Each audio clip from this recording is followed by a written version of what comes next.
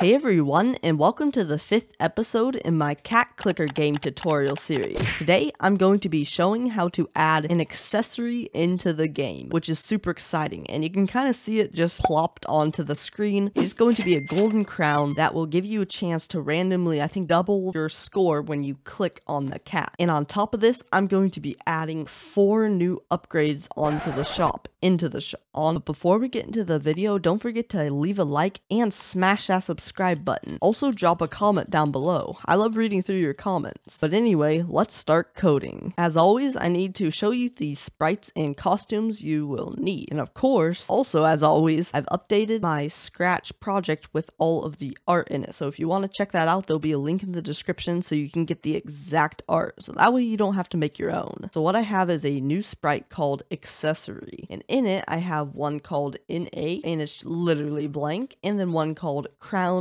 and it's a crown positioned on top of the cat's head. Then in the UI, I have a few new costumes. So I have one called the kitty crown, is just a button for it, gives a small chance of doubling cats per click from a click. I have auto petter, which is increases cats per second by one. I have a fishy cat food, increases cats per click by one. So those are the costumes and sprites you will need. So first of all, go ahead and head into the UI. So when we open up the shop, you can see that we don't really have much room. So we're not going to be able to fit another upgrade in. The way to fix this is to make you be able to use your mouse wheel and scroll around in the shop. So let's go ahead and do that. Find a good spot like right here and pull out a when the up arrow is pressed, which also counts as our scroll wheel. Then go ahead and do if not key up arrow press. That way we can't use our keys. It has to be the scroll wheel. Then we're going to make a brand new variable and name this shop scroll y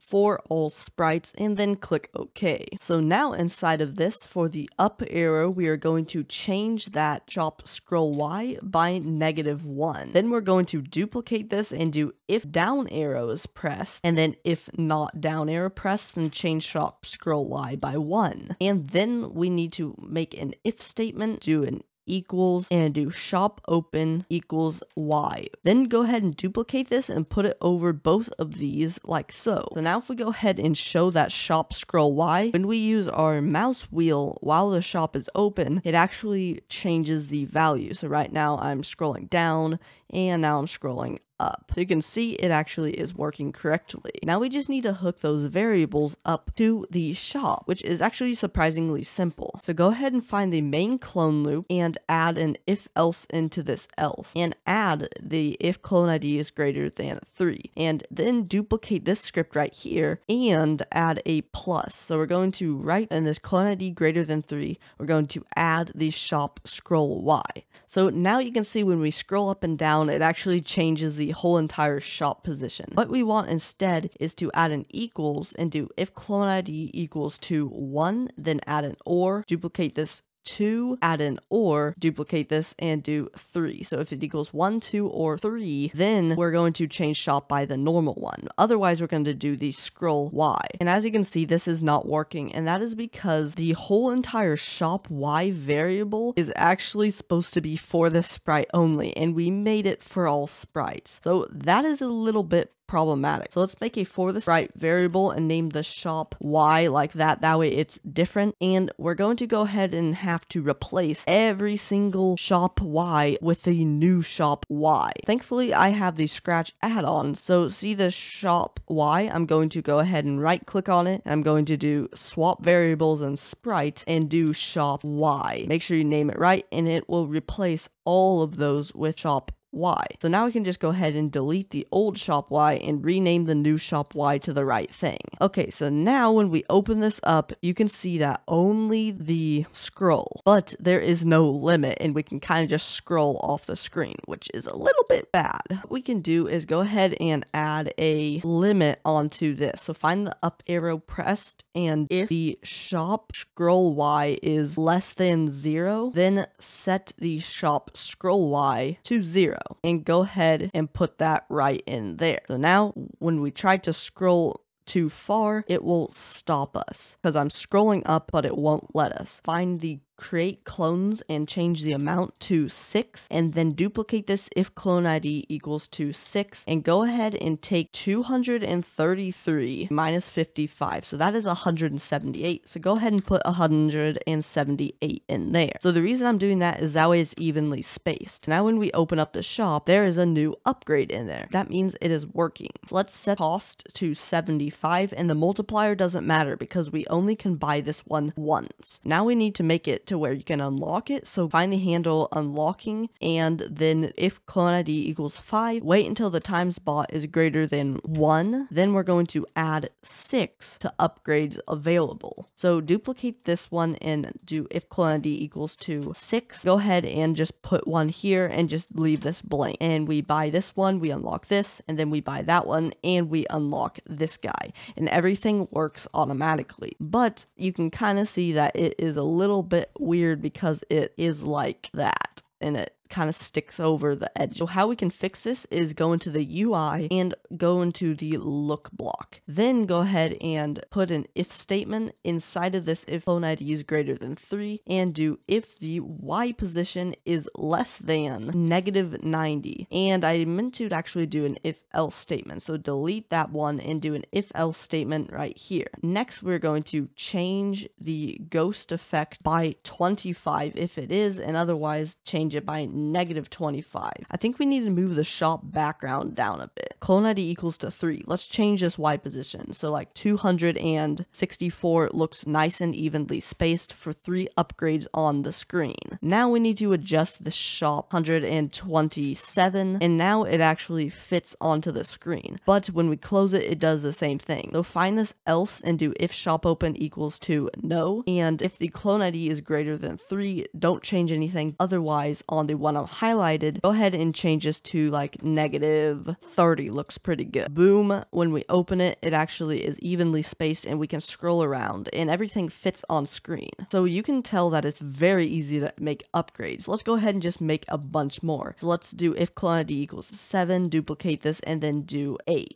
Then we're going to go ahead and take 175 minus 55, and that's going to be 123 for the clone ID equals to 7. Then take 123 minus 65, and that's going to be 68 for the 8 one. Then for the values, 7 is going to be 100, and the multiplier is going to be 4. 8 is going to be 250, and the multiplier is going to be 10. Now we can go ahead and put that in the else and change the amount of clones that is created to 8 in the beginning. Find this if clone ID is greater than 3 for the shop open. Change this to like 150 so it's way off the screen. And now look at this. We can scroll through the shop. Let's change this Y position less than 90. Maybe less than 50. Yep, 50 looks good. So now they fade on. So now all we need to do is add the handle unlocking and then it's going to work completely. So for the 6 we're going to wait until times bought is greater than 0 and then we're going to add 7 to upgrades available, duplicate that and do if it's equal to 7. Then we're going to go ahead and wait until times bought is greater than 1 and then add 8. And then for the clone ID equals to 8, go ahead and just leave this blank. So now we should see that once we buy these, we'll unlock and then buy a couple of those. And we can't buy these ones because they're not unlocked, so that's working. We buy some of these, we buy that. Now if we buy this, okay, it's not quite working. That means we know that we did something wrong. So let's go ahead and and check out what did we do. Okay, the reason it's not working because we left this clone equals to 8 blank. So make sure you just put 0 in there, okay? Don't leave it blank because otherwise this whole system won't work. So now if we test this out, give ourselves money, we buy two of those, we get this guy, we buy two of those, we get this guy, we buy one of these, we get the auto petter, then we buy a couple of those, and we get the fishy cat food. So now we just need to add some functionality to all of these things. So go ahead and find the buy results and do clone ID equals to 6 and leave that blank because that is going to come a little bit later in this episode. Then go ahead and add another if else and do clone ID equals to 7 in right here. We're going to change cats per second by 1. And then else if it equals 8, we're going to change the cats per click by 1. So now we actually have functionality to this. So let's test it out. So let's buy this one. We get some cats per click. We buy this one. We get some cats per second. Oops, I said that backwards, we buy that, it does nothing. But if we buy this, the cats per second jumps up a whole number, as you can see up there. So now let's go ahead and buy this. So right now we're making 1.4. We buy this, we're making 2.4. We buy it, we're making 3.4. So you get the point now. All of these upgrades work except the kitty crown. So let's go ahead and make that start to work. The first thing is to make it only be able to be bought once because you only can buy the accessory one time.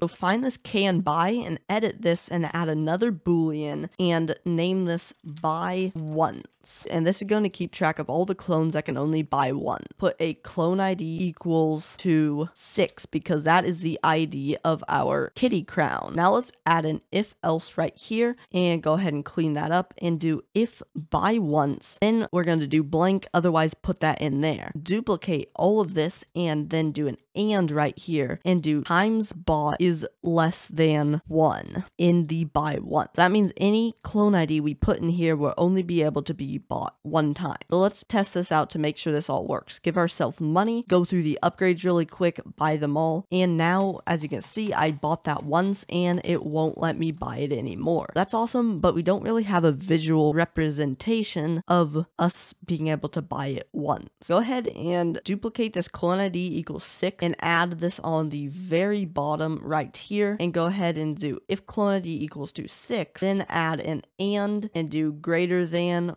1. So if ID equals to 6, and the times bought is greater than 1, then we are going to go ahead and set the brightness effect to negative 9. And that is because we want times bought greater than 0. Now we can officially test this out. Buy this upgrade, then buy this upgrade, and now we buy this kitty crown once, and I'm clicking on it, but it won't let me, and it's grayed out. So what we need to do is make a list and name this cat accessory like this for all sprite. Then in the clone ID equals to 6, we're going to add crown to cat accessory. Pull out a when I receive update and an if else. Next, we're going to pull out an equals and do cat accessory equals to blank. Then we're going to change the ghost effect by 25. Otherwise, we're going to change it by negative 25. Go forward five layers, set size to size of click, and then we're going to do go to click and point in direction 90 and change this to direction of click. Now we shouldn't see anything, but as soon as we buy the cat accessory, so instead of doing that, let's just add crown to cat accessory manually like so. It fades in on top of the player's head. Now go ahead and add a when green flag click, wait 0.1 seconds forever, broadcast clear accessories, then switch costume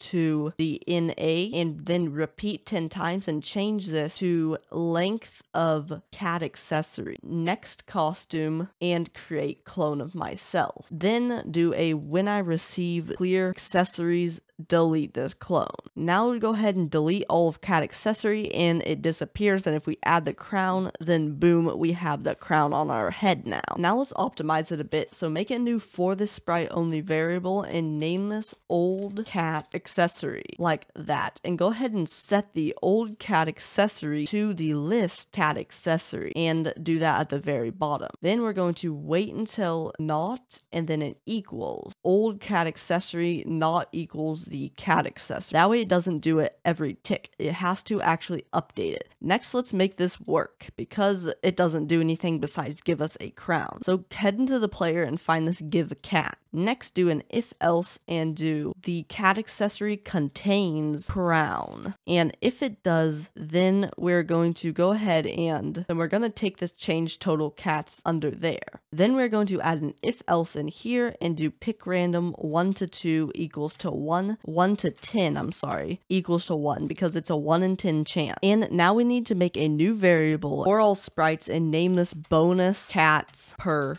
click and then you can name that a dot and then a parentheses bonus cats per click. So that is a new one. We're going to set the bonus cats per click to two otherwise set it to zero like so. Next we're going to move this out of the else right there and delete this one. We're going to add an if else and do an equals and do bonus cats per click equals to zero. Then we're going to change it by the normal one. Otherwise we're going to change it by the cats per click times the bonus bonus cats per click, like that. As you can see, it is normal, but if we add the crown to cat accessory and we click a few times, we should see that we get double points once in a while. So we get 1, 2, or 80, 82 right there. We just got double the point. So that means that this is working, but it doesn't actually say if we get double points. It always just says 1 no matter what. So what we need to do is go into the plus 1 and add an if else and do if the bonus cats per click is equal to zero, then we're going to do what we did previously. Otherwise, we're going to take that join plus cats per click times the bonus cats per click. So now it'll actually say when we get it. So we got two right there. You see that? It did two. So one, one, two. So this means that the cat accessory gold crown works, but let's make it look a little bit better. Broadcast new message and name this bonus. And then add broadcast bonus on this one right here. Now in the accessory, when I receive bonus, set the brightness effect to 25, wait 0. 0.01 seconds. Repeat 5 times. Change brightness effect by negative 5 so it kind of fades back out and then clear graphic effect. So let's go ahead and give ourselves the cat accessory. So just add crown to cat accessory and then broadcast bonus. Boom, it kind of does a little flash animation. Find the reset in the player and set bonus cats per click to zero in the very beginning. Now when we start, we're back to only getting one. So let's do quick gameplay test. Lazy mouse and then move on to the next upgrade. So I'll get 25 points. Okay, I'd need 27 points now because of the multiplier. Okay, I got it, and I'm making some extra money. So now I just need to get, oop, golden cat. There we go. That was my ticket to get to the kitty crown. So now I buy it and it gives me it as you can see. And now I will randomly double my points like I just did there. Then I can start working towards the auto petter and the fishy cat food. So this is working super good. That means that this is the end of the episode. So thank you all so much for watching. I do hope you enjoyed. If you did, then make sure to hit the like button and consider subscribing. But anyway, this has been Owen and I am out.